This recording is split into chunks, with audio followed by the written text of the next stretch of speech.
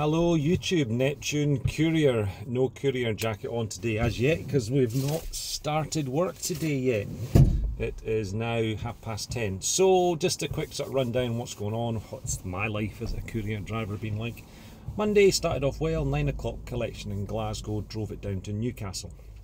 Now last time I was in Newcastle was mid-afternoon and all afternoon. It was ping, ping, ping, job, job, job. Manchester, Stockport, London, Southampton, Wales. Jobs backwards and forwards. I did two beer runs last time I was here. So I got here yesterday at 12 o'clock. I thought, oh, we'll get something anywhere, north, south, east, west, didn't care. Started bidding on jobs, getting nothing. 10, 15 minutes away, bidding 65p. I'm not getting awarded anything. So I'm not happy going less than 65p. So yesterday I didn't. I thought, it. Maybe a late evening job will come in, going down to Manchester. And uh, yeah, nothing came in. So anyway, got myself the cheapest travel lodge I could. Um, bit of a hit yesterday because it wasn't a great day for. It wasn't a bad day for money. The shipper I came down with paid me better than 65 pence a mile to come down. Um, so and that evening in the travel lodge, I looked at a couple of jobs, and I booked a job for this afternoon, half past two, Carlisle, Edinburgh, Glasgow, Paisley, um, which is an okay paying job. And the shipper, actually, it's not an okay paying job; it's a very well paid job. And uh, you know we're on big van money for this particular job, and I don't know why, um, but we'll get to that in a minute. So at the moment we're sitting at the Angel of the North. Let's have a little look. Bear with.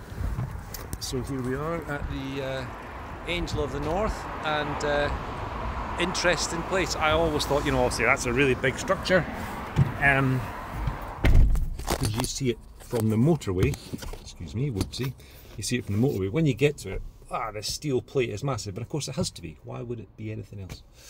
Anyway, we're at the Angel of the North, we're sitting here having a cup of coffee, and um, hopefully some kind of hot shot or whatever comes in that we can deal with today uh, before heading off to Brampton to do the next job. That's hilarious. A couple just drove in in their car and instead of walking to the Angel of North, have decided that they'll drive on the public footpath. The little white car. They've just come in, driven up, parked in the parky bit and decided that that's the way to go. Well, I suppose it means they're exposed to COVID for a little bit less time. And now I've forgotten what else I was going to say. Um, yeah, it's completely gone. Anyway, uh, hopefully we'll get a good day tomorrow, and uh, and we'll see how it goes. All the very best, everyone. I forgot I was going to mention about today's job. So today's job is COVID samples. Again, what we're going to do when COVID stops, there's going to be no work.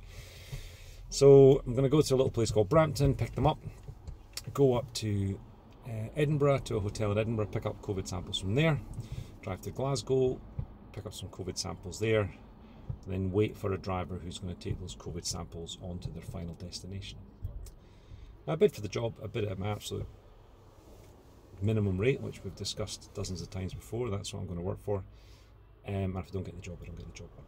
Um, and I put it on last night at 8 o'clock. Didn't expect to hear anything. This morning, 8 o'clock, when the office of this particular shipper opened up, they were on the phone straight away. Hi there, you've been on our job blah blah blah. Yes, are you still okay to do it? Yes, I am. Okay, great. And she said, now what rate works best for you? And I've never heard that before. I said, well, I'm happy with the rate that I bid for the job, thinking she was trying to uh, knock me down. But she turned around and she changed my rate and she increased my rate because she thought I'd gone in too cheaply. What a fantastic shipper! Thank you very much, uh, Mrs. Shipper Lady.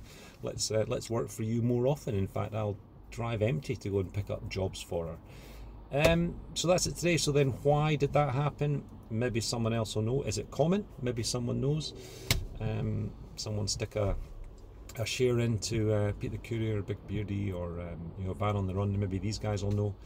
Um, that does that happen very often? That you say, "I want 100 quid for this job," and they say, "Oh, you're getting 125." Thank you very much. anyway, never happened before. Thought it was noteworthy. Going to stitch it on the back of the other video. Be safe. Have a great day. Cheerio. Bye.